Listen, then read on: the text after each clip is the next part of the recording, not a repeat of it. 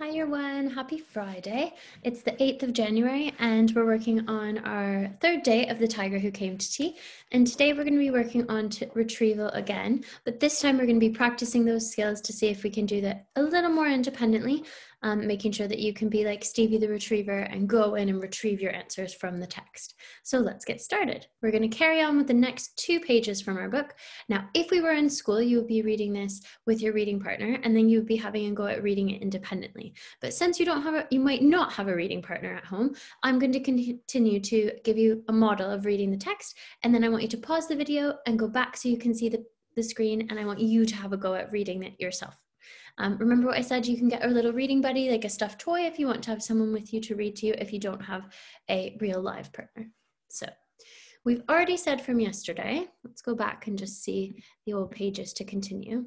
Sophie's mummy said, I wonder who that could be. Do you remember why Sophie's mummy said that? Pause the video and answer the question.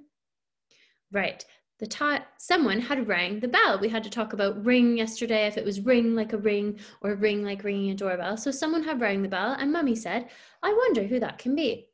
It can't be the milkman because he came this morning.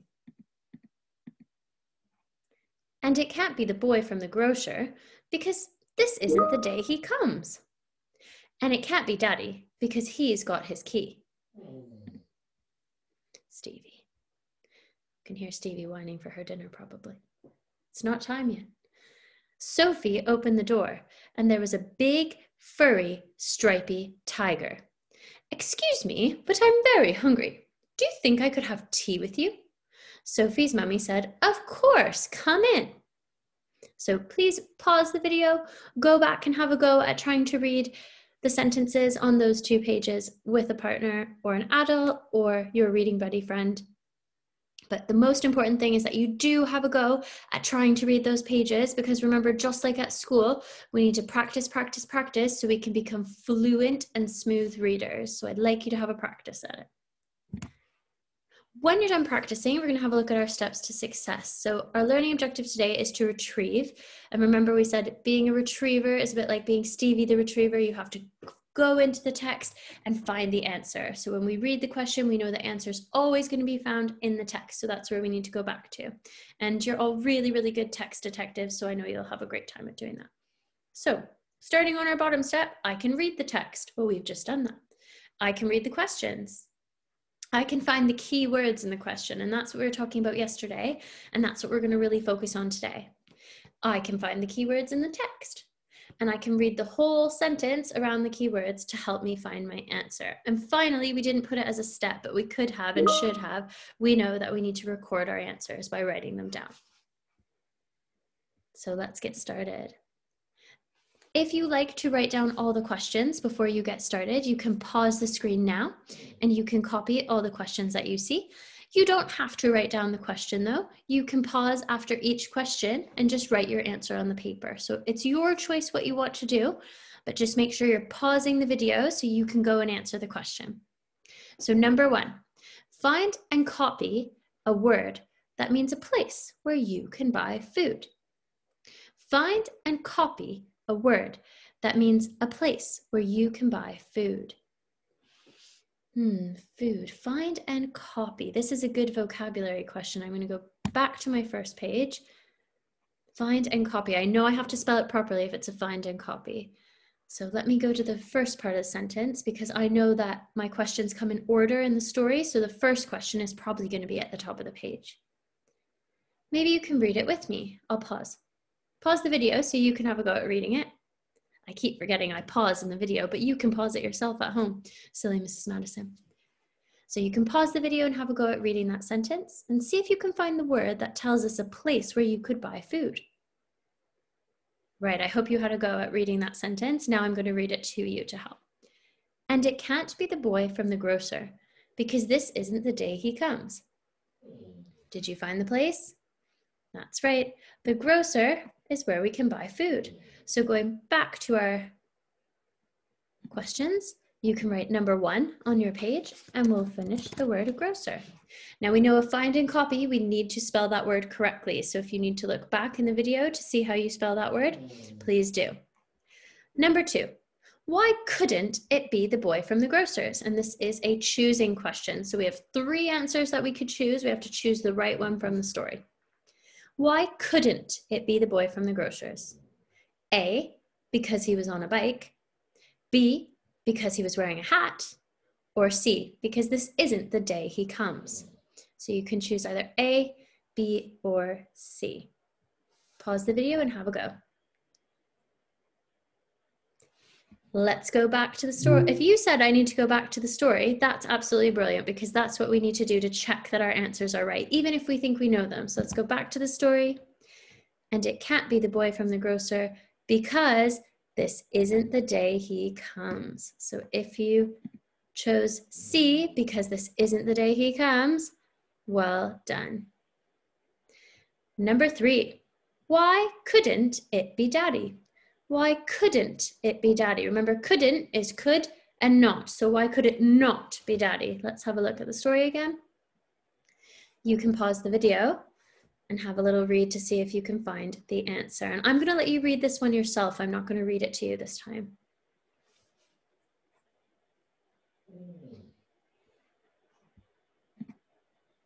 So if we go back to our question, why couldn't it be daddy? That's right because he's got his key. And we know when we are answering a question that has why, we need to use the answer because. So we're going to spell because, because he has his key. So it couldn't be daddy because his key, he has his key, so he could let himself in. Number four is a good searching challenge. Find and copy three adjectives, three adjectives to describe the tiger. So we know that adjectives are describing words. We're going to choose the page that has the tiger. Should we use that page? Don't think so. I don't see a tiger. There we go.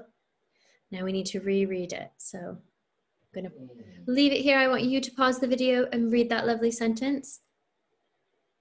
You will probably find it in the first sentence. That's your clue.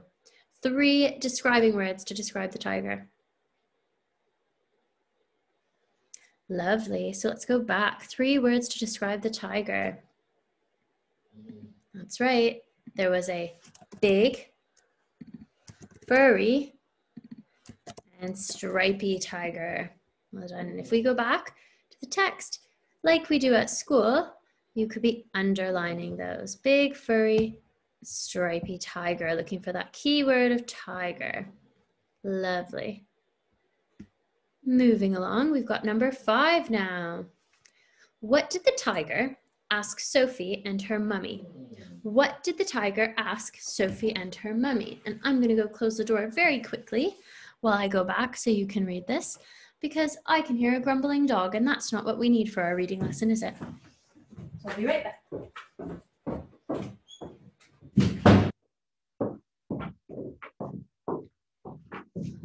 Right. See, it's just like a regular school day, boys and girls. We have all these silly interruptions, except Stevie usually isn't at school with us, is she? Right.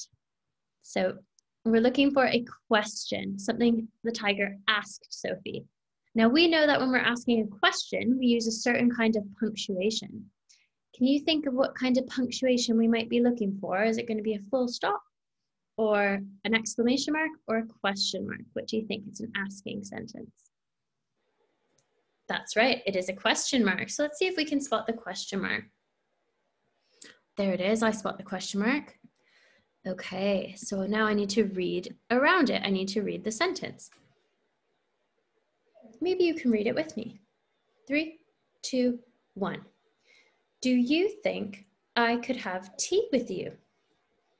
Lovely. So we've got the question. Do you think I could have tea with you? Let's write that down.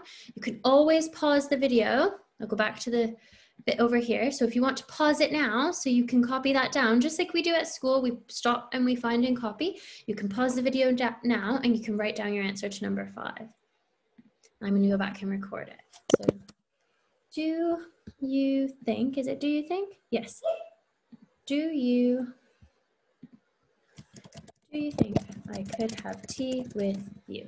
And of course, I'm going to end that sentence with a question mark because it's a question sentence. All right, let's move along. We're on number six. You're doing really well with your questions. I'm glad you've persevered, and I hope that you've been pausing and going back as you need to. True or false? So, true or false? Sophie's mummy said, No, you can't come in. True or false? Sophie's mummy said, No, you can't come in. Let's check. Can you pause the, pause the video?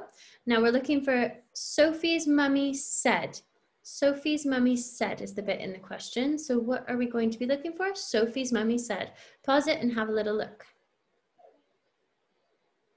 All right, I hope you had enough time to read it. Sophie's mummy said, of course, come in. She said, of course. So, true or false? False. See, I can't stump you. I can't stump you. You're too clever. And if I did stump you, do not worry, you just need to go back and read the text again to figure out where you went wrong. So those are our lovely six questions that we've had for the tiger who came to tea today for retrieval.